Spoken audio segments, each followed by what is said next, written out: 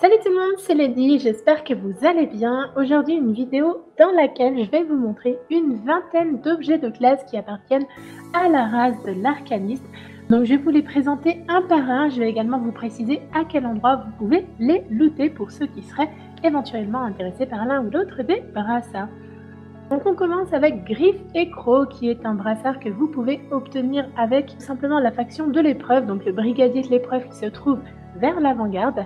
Donc vous pouvez avoir ce brassard, mais également celui-ci, rouge éternel, donc très feu, très axé sur les transparences, que vous aurez également au brigadier de l'épreuve. Ensuite, en ce qui concerne le culte de la guerre future, vous avez la possibilité d'obtenir la mort certaine, qui est très soft, très basique, qui fait un peu futuriste, un peu robotique, euh, un peu métallique en fait, qui est très sympa, mais je préfère personnellement celui-ci Chaos Permanent avec des effets de transparence et le logo de la guerre future qui ressort un peu plus sur euh, les codes de maille, donc vraiment quelque chose que je trouve très sympa pour ceux qui font partie de cette faction. Ensuite, pour ceux qui souhaitent représenter les couleurs de la nouvelle monarchie, vous avez l'ordre, un brassard très très basique, très artisanal, mais très efficace ma foi. Vous avez également celui-ci avec encore une fois un jeu de transparence qui s'appelle Les Souverains et que je trouve beaucoup plus chouette que le premier. Pour ceux qui souhaitent représenter la faction de l'Astre Mort, je voulais vous présenter Mort au Destin, qui est un brassard que je trouve juste magnifique parce qu'il a un effet de bandelette de tissu avec le logo qui ressort juste dessus. Si j'étais membre de cette faction, c'est celui-ci que je prendrais à coup sûr puisque le deuxième Exode volontaire est un peu plus basique. On a un espèce de gros médaillon qui fait très très bloc et qui est assez sympathique malgré tout. En tout cas, mon choix se porterait tout de même vers le premier. Ensuite, on va passer à l'avant-garde avec celui-ci, Esprit incandescent avec cette espèce de feu violet, de feu abyssal que je trouve très joli, c'est surtout pour ses effets d'optique. Vous avez aussi lanterne clairvoyante, la même chose, un effet de transparence mais couleur feu cette fois-ci, toujours pour la faction de l'avant-garde. Donc après, bien évidemment, il faut savoir qu'il y a plein plein de brassards qui existent pour chaque faction. Il en existe bien évidemment beaucoup plus qu'une vingtaine. Donc ensuite, je vais vous parler de ce que vous pouvez looter dans le caveau de verre, donc sur Vénus.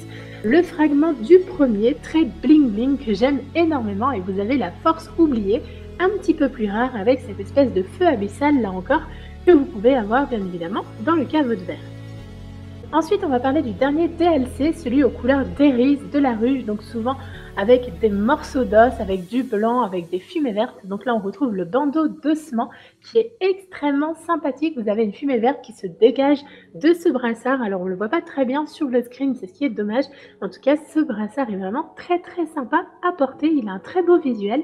Ensuite, vous avez la malédiction des clandestins qui me fait un petit peu penser à celui-ci, le chant du crépuscule. Donc, ce sont les deux mêmes avec les couleurs de la ruche, sauf que l'un est en vert et l'autre est en orange. Ensuite, vous avez la lumière d'émeraude. Donc, celui-ci est particulièrement joli. Tous ces brassards, vous pouvez les acquérir bien évidemment soit en faisant le raid de Cropta, soit en achetant les items en question directement auprès d'Eris, à condition d'avoir préalablement monté les rangs de la faction d'Eris. Donc celui-ci, Lumière d'émeraude, je le trouve particulièrement sympa pour la fumée verte qu'il dégage tout autour du bras de l'arcaniste. Ensuite, on va passer aux six derniers brassards que je trouve être les plus jolis euh, du jeu. Donc c'est tout simplement des brassards que vous pouvez acheter auprès du guide à la tour.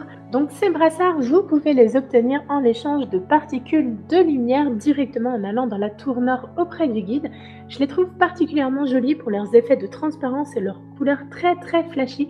Donc là par exemple vous avez l'esprit du vautour, donc cette espèce d'aigle bleu qui est juste magnifique à porter. Ensuite vous avez l'anneau funéraire du lantane, donc en orange, donc couleur feu, qui est très très joli également.